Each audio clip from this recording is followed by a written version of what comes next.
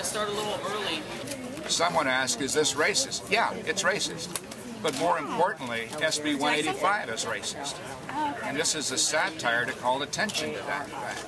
I don't like bake sales. I don't like making distinctions about people on the basis of race. But sometimes you have to do things that are that, that are wrong in order to correct that which is even more wrong. Okay, so could, I'm happy to buy all of them. Could I buy all of them? They won't let me buy all of them.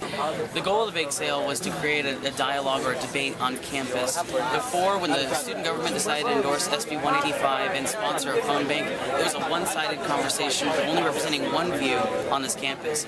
By sending a message to Jerry Brown, making phone calls and saying Berkeley students support SB 185, that sends a message that all students want that uh, bill passed and all students support that bill.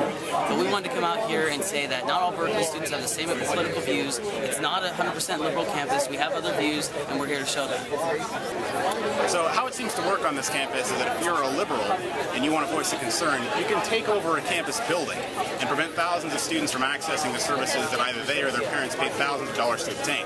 But if you're a conservative and you want to voice opposition to some pending legislation by selling cupcakes, the student body will threaten to defund your club.